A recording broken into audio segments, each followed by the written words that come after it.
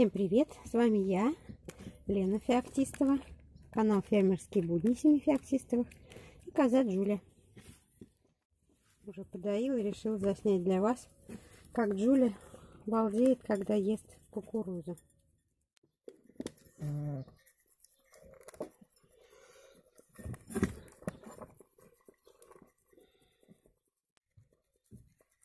Mm.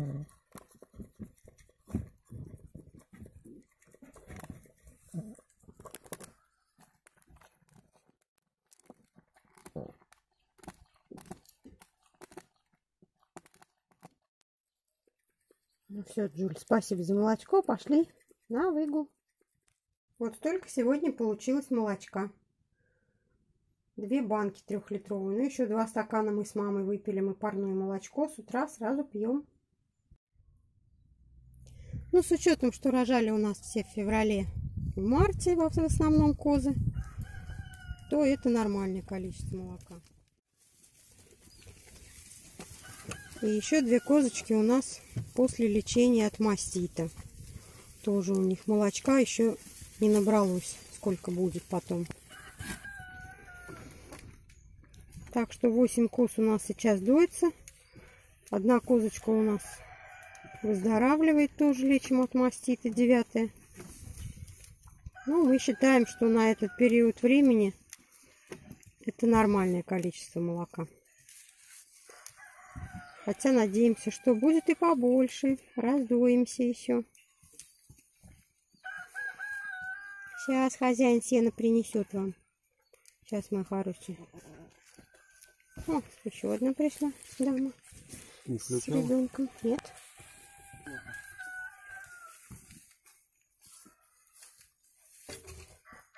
Укрепил немножко кормушку, чтобы не болтал.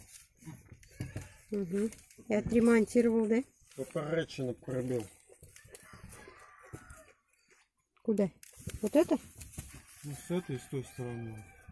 Mm. А то она вот так ходуном ходила вообще. Она уже с той стороны козы помощнее, чем с этой. И она уже прям сюда стала нагибаться.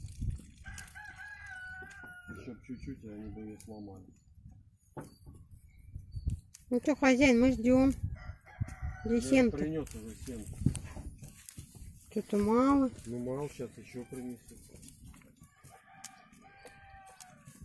Даже вон, видишь, не подходят вот эти мадам, у них тут бои. Да там нормального сена уже нет просто. Ясно.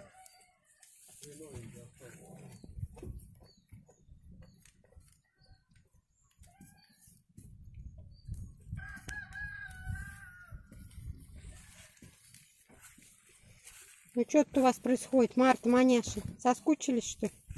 Давно не виделись? Маняшка пока лечилась, отдельно стояла. Так, это мне уже не нравится. Сейчас бошки в кровь разобьем.